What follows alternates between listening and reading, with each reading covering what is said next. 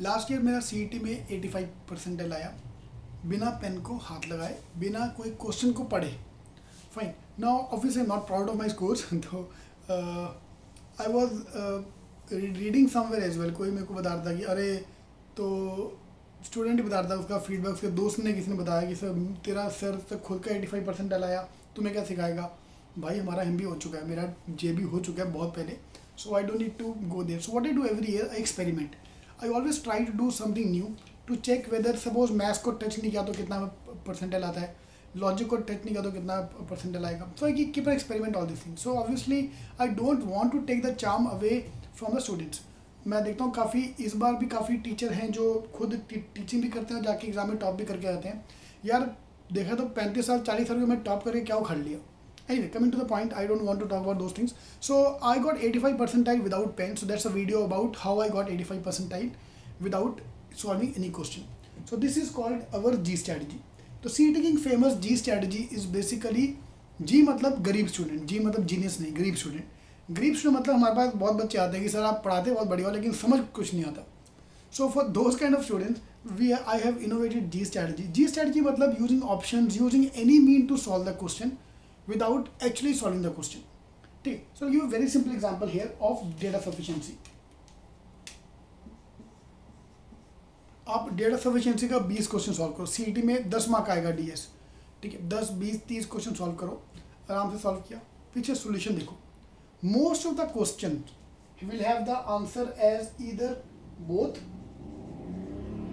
or none of these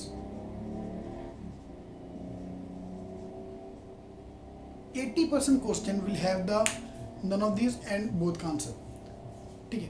तो अभी तो इज़्ज़त से obviously solve the paper so मैंने सी टी का पेपर स्टार्ट किया. Start from question number one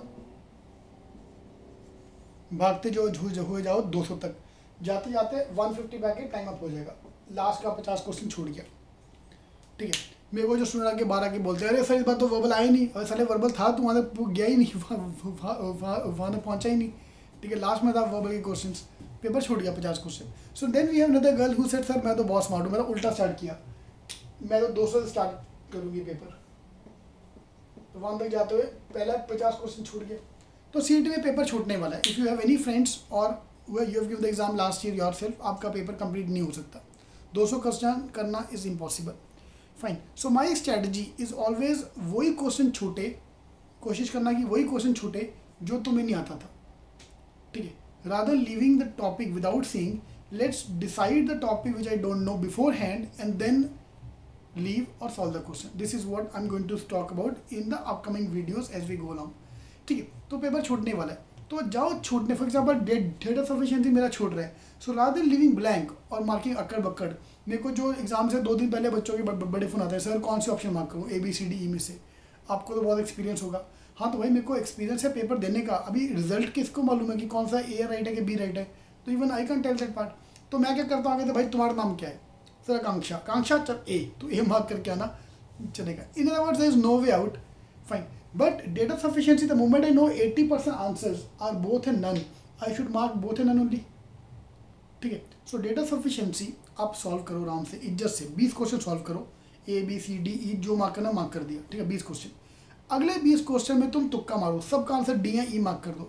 You be surprise to see you are getting same marks दिमाग लगाया, दिमाग नहीं लगाया एंड गेटिंग सेम मार्क्स तो वाई टू यूज़ ब्रेन्स ठीक है? सो ये जो पाँच मार्क्स मैंने डेटा सफिशियंसी का सेव किया I can use somewhere else ठीक है? So G G strategy is basically using option using other means using the probability और commonly repeated answers for the question ठीक है? So what have done is I have find out the G strategy for almost every topic ठीक है? तो as we go along in C T workshop in case you are joining us so I be talking about the G strategy for all the topics one by one नहीं तो आप अगर नहीं कर सकते ज्वाइन तो आप खुद का करना चाहते हो तो जो भी आप टॉपिक करो ट्राई टू फाइंड आउट कि इसका कॉमन आंसर क्या है। ए है कि हर बार ये आंसर हर बार बोथ आ रहा है, हर बार नन आ रहा है।